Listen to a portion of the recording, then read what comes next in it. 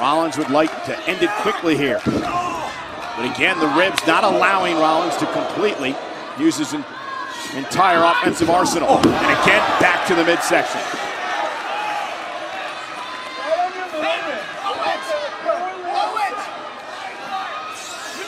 Oh, look at this. This is how Kevin Owens injured those ribs in the first place. Uh, Rollins, though, was able to counter it with a knee to the spine. Cover on Jericho. Is it enough hair kick out? Chris Jericho. Well scouted Nobody by. Rollins. Right at the feet of his best friend. You ask yourself, how does Rollins find the will to keep going? Rollins is driven by pure rage right now. Come on, he Seth. will Is that stop at nothing. Is that smart? Suicide dive to the champion. Once again, Rollins trying to take Kevin Owens out of the equation. Seth Rollins had the opportunity to take out Jericho and bypassed him instead in favor of taking out the WWE Universal Champion. Jericho ran into a kick from Rollins. And now Seth gonna launch himself, top rope, running knee, and Jericho caught the full brunt of it, and then Rollins, his full body weight, taking Jericho to the mat. But a kick out by Chris.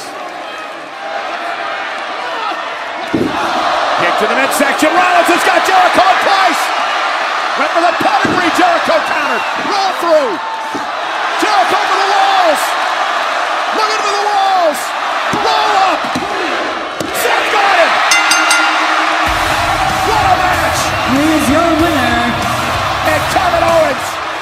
Owens is livid.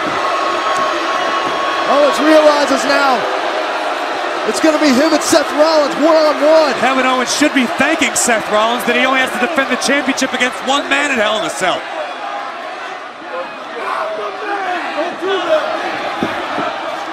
For the pop-up power bomb. Rollins, though, able to counter.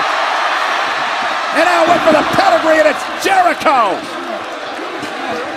Just remember, inside Hell in a Cell, there will be no Jericho to save Kevin Owens.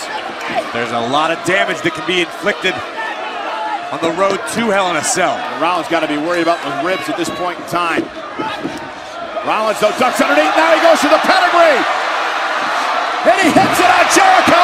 And again, Kevin Owens is walking away from his buddy.